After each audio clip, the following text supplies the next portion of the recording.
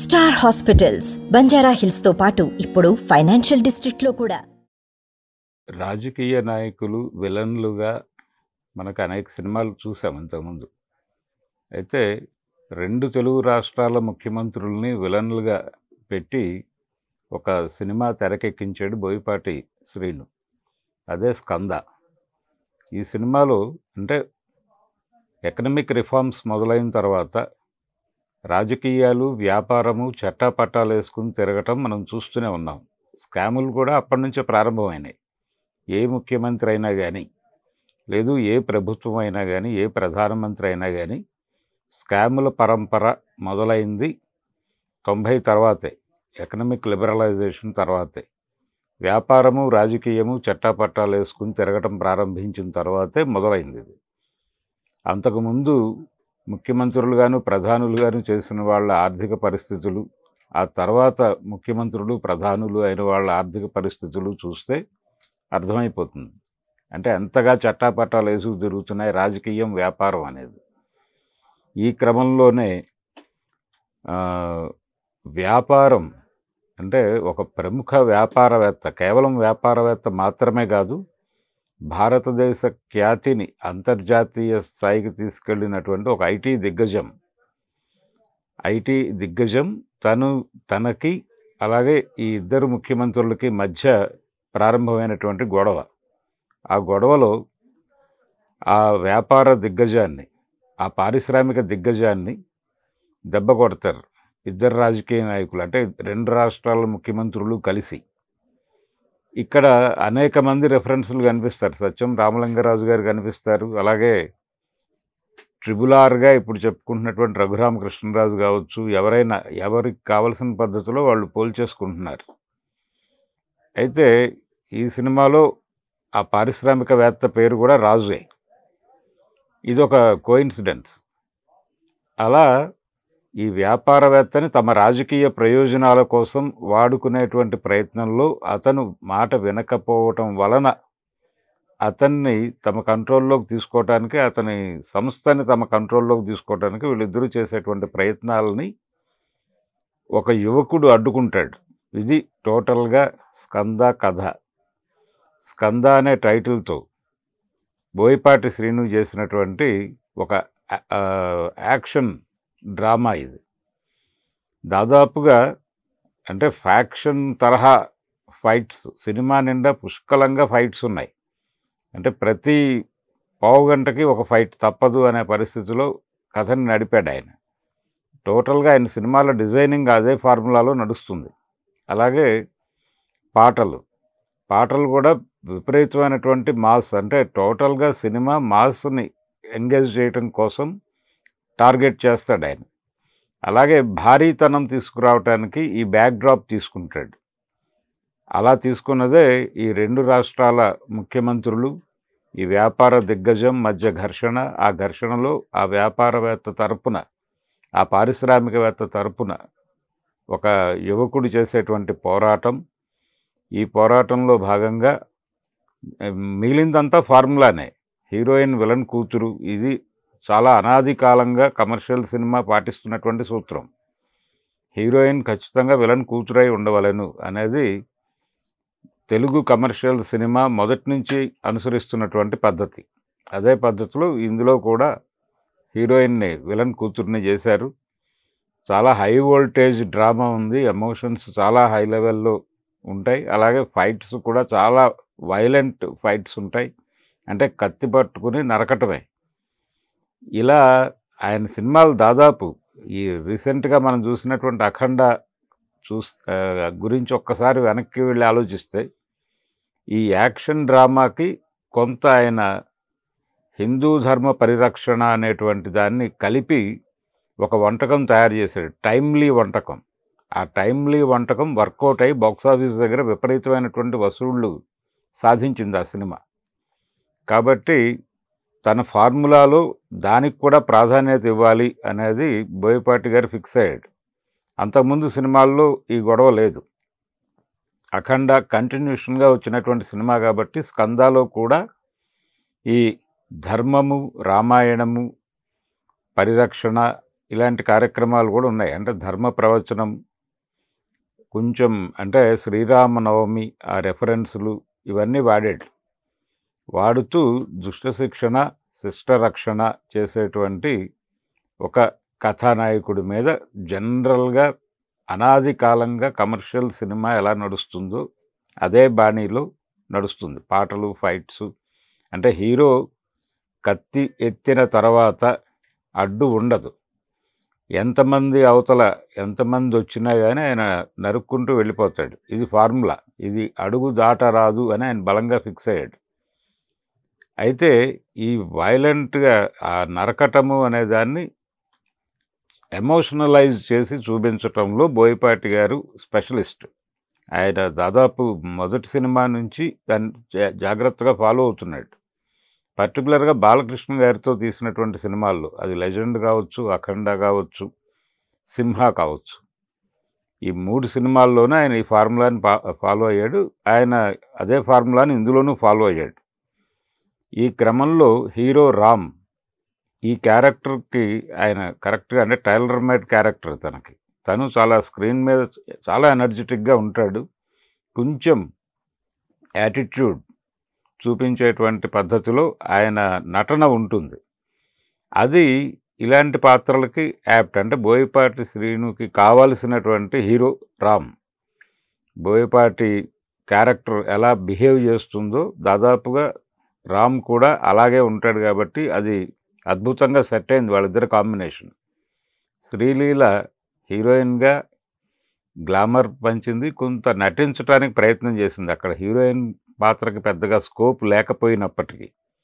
అలాగే ఈ సినిమాలో చాలా కాలం తర్వాత చాలా గ్యాప్ తర్వాత దగ్గుబాటి రాజా పాత తమిళ హీరో తెలుగు హీరోనే అతను రామనాయుడు గారి అన్నకుమారుడు ఆయన తమిళ్ళో ఎక్కువ సినిమాలు చేశాడు పర్టికులర్గా భారతీ రాజా గారితో దాదాపు నాలుగు సినిమాలు చేశాడు ఆయన. సాఫ్ట్ క్యారెక్టర్స్లో కనిపించేవాడు ఆయన.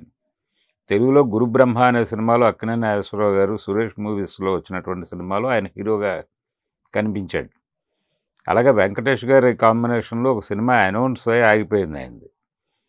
ఆయన సాఫ్ట్ క్యారెక్టర్లు చేసేవాడు. అయితే ఈ సినిమాలో ఆయనకి మాస్ క్యారెక్టరు కొంచెం వైలెన్స్ మిక్స్ అయినటువంటి క్యారెక్టరు చేయలేదు కెరియర్లో అనేటువంటి ఒక లోటు బోయపాటి తీర్చేశాడు.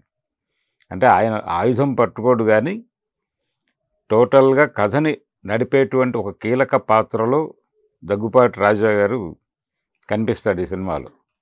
అది సినిమాకు ఒక రకంగా ప్లస్ అయింది. అలాగే బోయపాటి సినిమా చూడాలి అని ఫిక్స్ అయినటువంటి ఆడియన్స్ ఏవేం కోరుకుంటారో అవన్నీ పుష్కలంగా ఉన్నాయి సినిమాలో. ఇది టోటల్గా అవుట్ అండ్ అవుట్ మాస్ సినిమా. డిస్ట్రిబ్యూటర్ల టాక్ ఏంటంటే బీసీ సెంటర్లో ఎరగొట్టేస్తుంది సినిమా అని మాట్లాడుతున్నారు. ఇప్పుడు బీసీ సెంటర్లు ఏ సెంటర్లు అనేటువంటి డివిజన్ వెళ్ళిపోయింది. వెళ్ళిపోయి అంటే ఇంటర్నెట్ వచ్చిన తర్వాత పల్లెైనా పట్టణమైనా ఏ వృత్తిలో ఉన్నవారైనా సరే అన్ని ప్లాట్ఫామ్స్లోకి పెడుతున్నారు అంటే ఆండ్రాయిడ్ ఫోన్ జేబులోకి వచ్చేసిన తర్వాత అన్ని ప్లాట్ఫామ్స్లోకి పెడుతున్నారు నెట్ అవైలబిలిటీ వచ్చిన తర్వాత. ఇప్పుడు క్లాసు మాల్సు అనేటువంటి డివిజన్ కూడా లేదు. అలాగే ఏ సెంటర్లు బి సెంటర్లు అనేటువంటి డివిజన్ కూడా వెళ్ళిపోయింది. అందుకని ఈ సినిమా అంటే మాస్ ఆడియన్స్ని దృష్టిలో పెట్టుకొని చేశాను నేను అని ఆయన అనుకుంటున్నాడు. అలాగే డిస్ట్రిబ్యూటర్లు కూడా ఏ సెంటర్లో కొంత ఇబ్బంది పెడుతుందో ఏమో కానీ బీసీ సెంటర్లో అద్భుతంగా వర్కౌట్ అవుతుంది అనే అభిప్రాయంతో ఉన్నారు ఇప్పుడు. కానీ ఏ మేరకు ఇది ఆడియన్స్ని మెప్పించగలదు అంటే ఎమోషనలైజ్ చేయగలదు సినిమా డెఫినెట్గా. థియేటర్కి వచ్చినటువంటి ఆడియన్స్ని ఎంగేజ్ చేయడంతో పాటు ఎమోషనలైజ్ చేయటము దాంతోపాటు కొంత రాజకీయం ఉండటం ఇది కూడా ప్లస్ పాయింట్ ఈ సినిమాకి. రాజకీయం అంటే రాజకీయానికి వ్యాపారానికి ఉన్నటువంటి సంబంధాలు వ్యాపారాన్ని తన కంట్రోల్లో ఉంచుకోవడానికి రాజకీయం చేసేటువంటి ప్రయత్నాలు వీటిని కొంత ఎక్స్ప్లెయిన్ చేసే ప్రయత్నం చేశాడు రైటర్ రత్నం గారు. అది కొంత కొత్తగా అనిపించింది. అయితే ఈ రెండు రాష్ట్రాల ముఖ్యమంత్రులు విలన్లు అనేది ఎట్లా ప్రజలు డైజెస్ట్ చేసుకుంటారనేది చూడాలి. ఆయన మొదటే డిస్క్లైమర్ వేసేసాడు ఇందులో ఎవరిని ఉద్దేశించి కాదు అని. జనరల్గా ఇలాంటి సినిమాల్లో అది కామన్. మనకి గతంలో కూడా ముఖ్యమంత్రులు హీరోలుగా మాత్రమే కాదు ముఖ్యమంత్రులు విలన్లుగా నటించినటువంటి సినిమాలు కూడా అనేకం చూసాం మనం. అన్ గవర్నర్ని విలన్గా పెట్టి సినిమా తీసినా మనం చూసాం.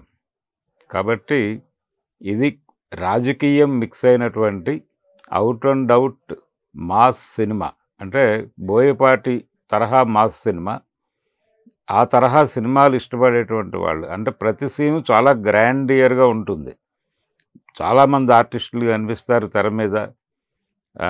అలాగే ఏ సీను కూడా ఆయన మామూలుగా తీయడు సాధారణంగా ఉండదు. ప్రతి సీన్ని ఎమోషనల్గా కనెక్ట్ చేసేటువంటి ప్రయత్నం చేస్తాడు. సాంప్రదాయాలకు పెద్దపీట వేశాడు ఈ సినిమాలో.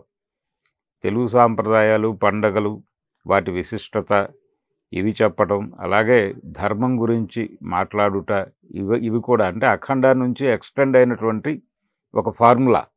అది కూడా ఈ సినిమాలో బలంగా నడిపాడు ఆయన. ఇవన్నీ కలిసి సినిమాని ప్రాఫిటబుల్ వేలో నడిపేటువంటి అవకాశం అయితే కనిపిస్తోంది. ఏ రేంజ్ హిట్ అనేది చెప్పలేం కానీ కమర్షియల్గా ఇది వర్కౌట్ అయ్యే సినిమా. ఏ రేంజ్ కలెక్షన్స్ సాధిస్తుంది అనేది చూడాలి. అంటే రామ్కి ఇది టైలర్ మేడ్ క్యారెక్టరు ఒక రకంగా ఈ సినిమా సీక్వెల్ ఉంటుందని కూడా ఒక ప్రామిస్ చేశాడు ఆయన. సీక్వెల్కి ఒక లీడ్ ఇచ్చి వదిలేస్తాడు సినిమాని. టు బీ కంటిన్యూడ్ అని. ఇంకా ఉంది అనే దీంతో ముగుస్తుంది సినిమా. అంటే ఒక క్యారెక్టర్ని ఇంట్రడ్యూస్ చేస్తాడు చివరిలో.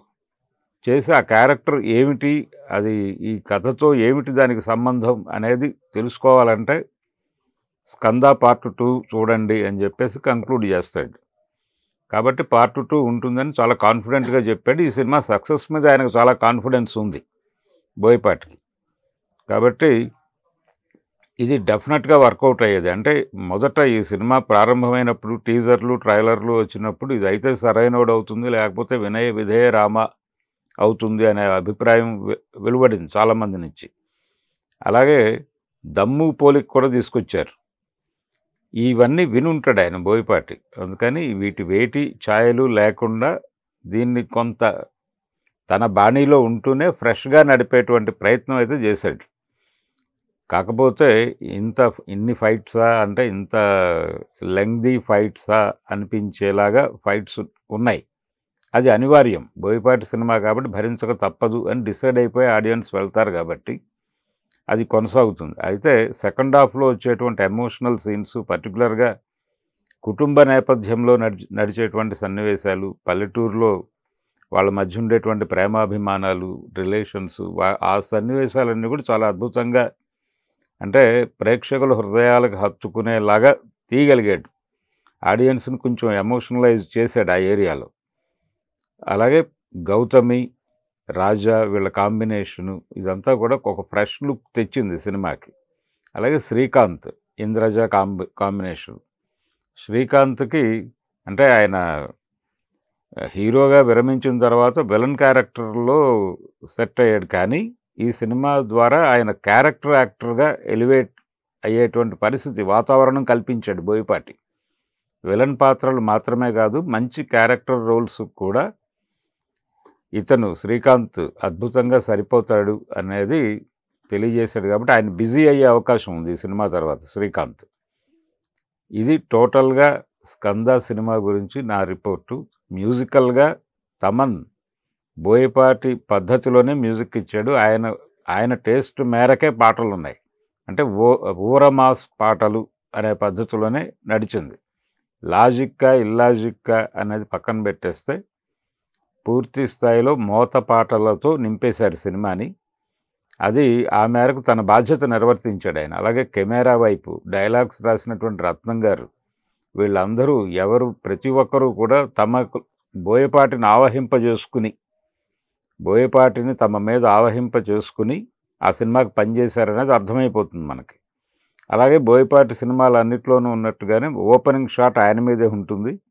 అలాగే చివరిలో ఆయన ఎంత కష్టపడి డైరెక్ట్ చేశాడు అనేటువంటిది నేరేట్ చేస్తూ టైటిల్స్ అప్పుడు ఎండ్ టైటిల్స్లో ఒక నేరేటివ్ స్టోరీ కూడా ఉంటుంది.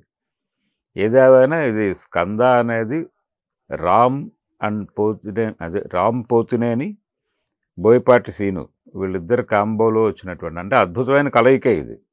మేడ్ ఫర్ ఈచ్ అదర్ లెవెల్లో ఉన్నారు వాళ్ళిద్దరూ కూడా. ఇది స్క్రీన్ మీద బాగా వర్కౌట్ అవుతుంది అనుకున్నారు ముందే. అది కనిపించింది తెర మీద. ఇది ఏ లెవెల్ హిట్ అనేది తెలుస్తుంది. హిట్టే సినిమా.